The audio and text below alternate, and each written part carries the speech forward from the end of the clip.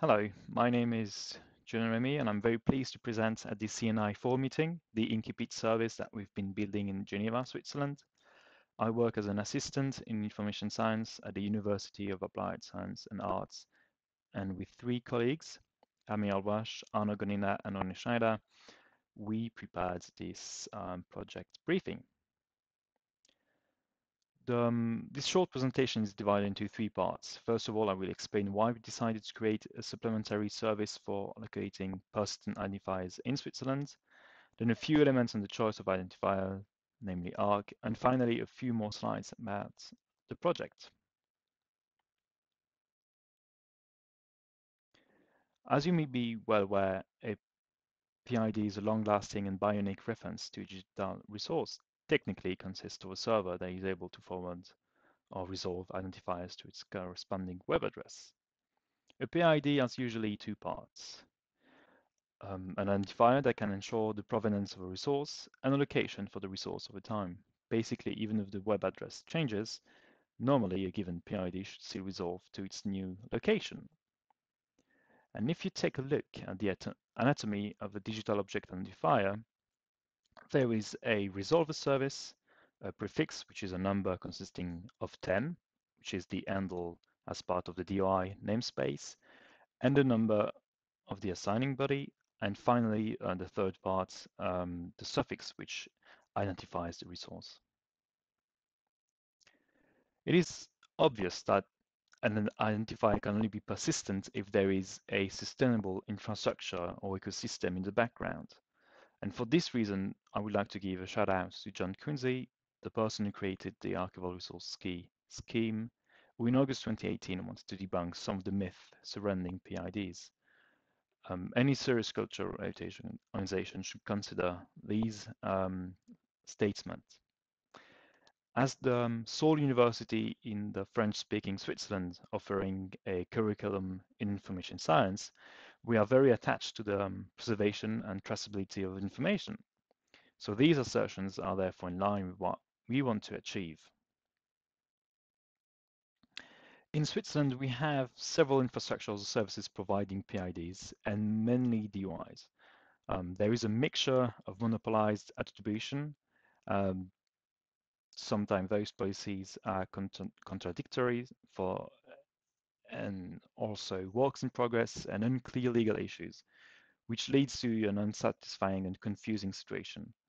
So that's why we wanted to build uh, something else. And here you have in the in the map, uh, for example, the ETH in Zurich um, is the main provider of uh, DOI. Um, they are a member of the DataCite, but it's quite um, costly and it's going to be even more in the um, next year, apparently. Uh, FORS, which is for uh, science, uh, social sciences in, in, in Lausanne, they do provide DOI, but it's not for everything. The um, data lifecycle management, DSM is more for long-term archival purposes, and not all data can actually um, be deposited there. Deposited there. Zenodo, that you may know, um, is uh, from the CERN, the European Organization for Nuclear Research, but it's actually not legally in Switzerland nor in France. It's extraterritorial, so you have some legal issues if you deposit everything there. And then the DaSCH, uh, the Data Service Center for the Humanities. So, as the name says, uh, is restrained to uh, data in the humanities. So most of them use DOIs, and then you have uh, only uh, DaSCH, which leverages uh, the ARK scheme. The scheme that we actually are going to, to, to use as well. So um, I'm not going to talk about ARK, uh, which is for us the best choice to satisfy scientific and cultural heritage sectors in Switzerland, in our opinion. The information in the following slides come mainly from the ARKs in the Open initiative, which will soon change its name to ARK Alliance. And you have here two different URIs when you can find more information. So ARK is a scheme that was created in 2001 by the California Digital Library. And we can see that now over 600 organizations of the world are registered to assign ARK identifiers. These organizations are mostly based in North America and France, but we've also been seeing adoptions um, different parts of the world, such as in South America and India. One of the very neat things with ARK is that it can be assigned to absolutely anything, from research data to bibliographic records or vocabulary terms. And you have here a list of example, but basically anything that would need an identifier can get an archival resource key. If you start assigning ARKs, you can indeed set up your own local resolver, but you will also benefit from name to thing, um, which is a global resolver. So on the table, you can see uh, an example of the same identifier from the French National Library. And this um, manuscript uh, not only points, points to, um, to the entire document, if you will, but to a particular page of this digitization, which you have here uh, on the on the slide. Uh, so to the folio number 29. An ARK can be subdivided into different parts. Um, we, we've showed that with the uh, structure of the, the eye. So same thing with the ARK, but with more details. So here we can see on the top that there are three main things to distinguish, the resolver service, the base object name, and, and that's very important um, and relevant for us, the qualifiers, uh, which we saw in the BNF example as well. If we go into in a little more detail, we can see that the last two parts can also be divided.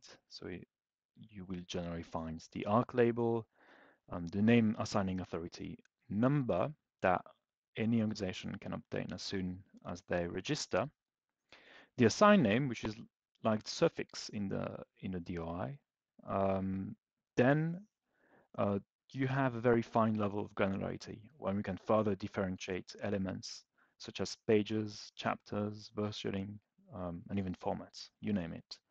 You can uh, divide the way you want your um, data set, for instance. Uh, name to thing N2T um, is a global ARK resolver, and it is actually for mapping names into things. So it knows where to route over 900 of the types of identifier. And when a resolution request comes in from the general public, N2T looks up the identifiers and redirects the original link to a forwarded link. But to do this, it uses two different resolution patterns. Um, to begin, N2T tries to resolve according to information found in an individual stored identifier, and failing that, N2T tries to resolve according to any stored class rules based on the identifier type. So we have many advantages to, to use ARKs. Um, first of all, it's free to register.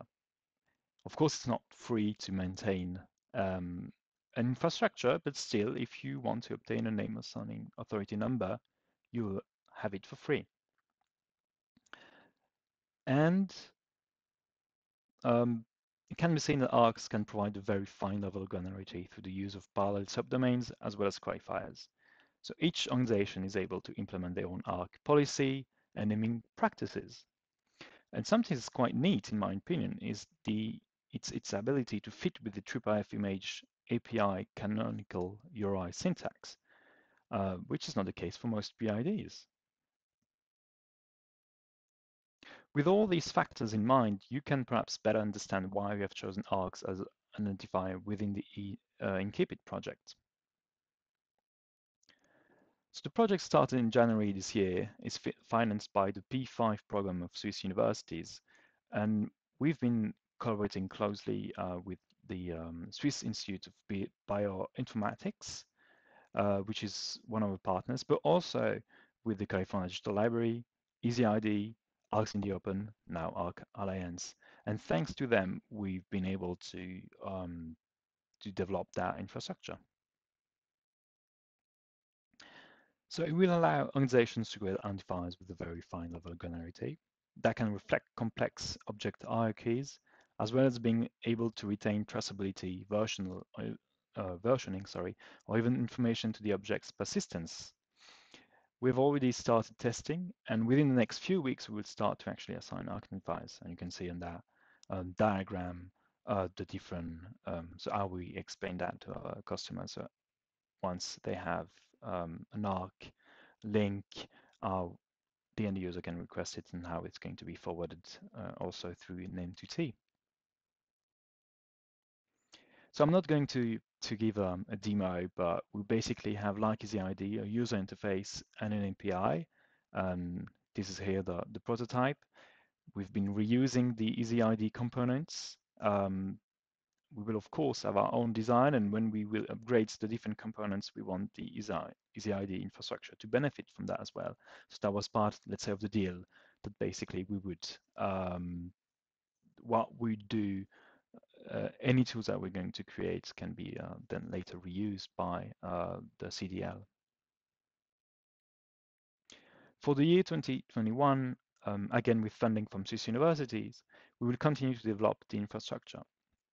So the main goal of the INCIPIT CRIS, uh, that's the new name of the project, um, is to combine a basic service for assigning ARKs, which is uh, here INCIPIT 1 uh, on that slide, with a current research information system, a CRIS, as well as a set of algorithm for search, disambiguation, and interoperability.